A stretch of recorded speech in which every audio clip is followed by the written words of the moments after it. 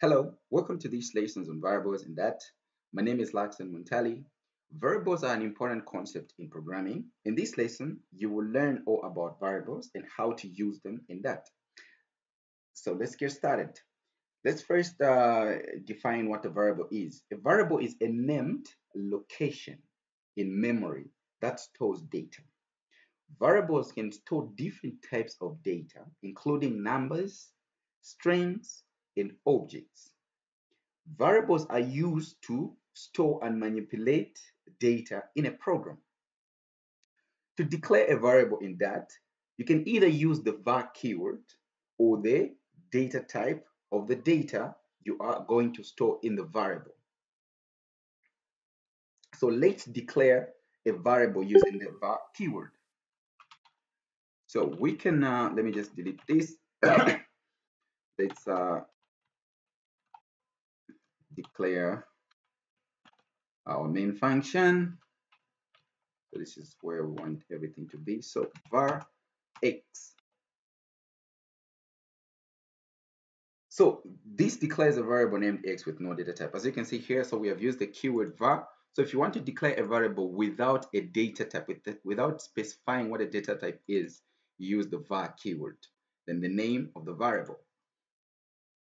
Then if you want to declare a variable that has a data type, for example, uh, string, string is a data type here, and name is a variable, and the equal sign, which is the assign assigning sign, assigning operator, sorry, then if we just assign John to this, So here what's happening is we have declared a variable with the var keyword without assigning a value to it. Then here we have declared a variable name and we have assigned a value to it which is John. And this variable is of uh, string type.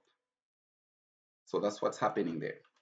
So for example, you can also like try to, you can also actually use the value of the variable of the variable, sorry, you can use the value of the variable once you just assign the value to it.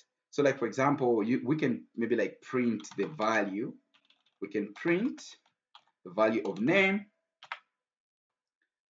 by using the print function here as you can see here. So the function that we have used, we just pass in the variable that we want to we want to print the value of this variable. So if we try to uh, open a new a terminal so that we can see what we are printing here. So if you run this, you'll notice that uh, it's going to print the value of uh, the value of name here, which is John.